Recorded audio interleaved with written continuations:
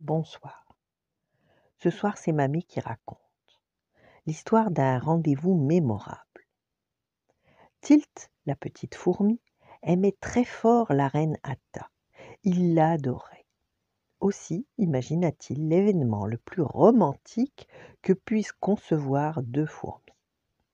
Je passe te prendre ce soir à huit heures, dit-il à Atta, qu'il rencontra tôt le matin dans la fourmilière. Et il commença les préparatifs du rendez-vous. D'abord, il s'occupa du dîner.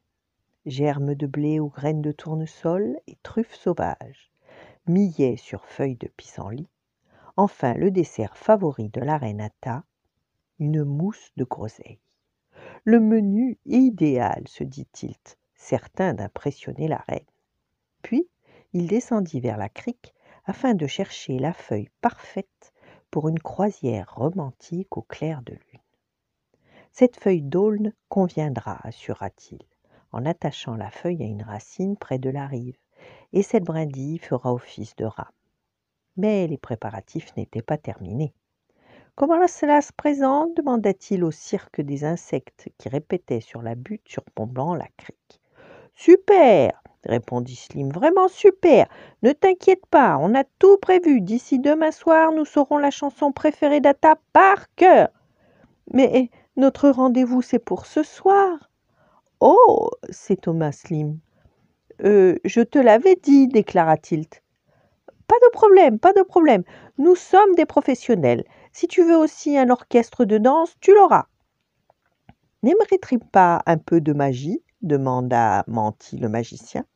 J'ai remarqué que rien ne rend une dame plus romantique que lorsqu'on la coupe en deux. Euh, non, non, je vais choisir la danse, dit Tilt. Mais en parlant de romance, il pensa qu'il allait oublier les lucioles. En effet, il avait loué une bonne douzaine de lucioles pour la soirée. Venez vite, venez vite, appela-t-il en les disposant dans les arbres, au bord de l'eau et autour de la nappe du pique-nique.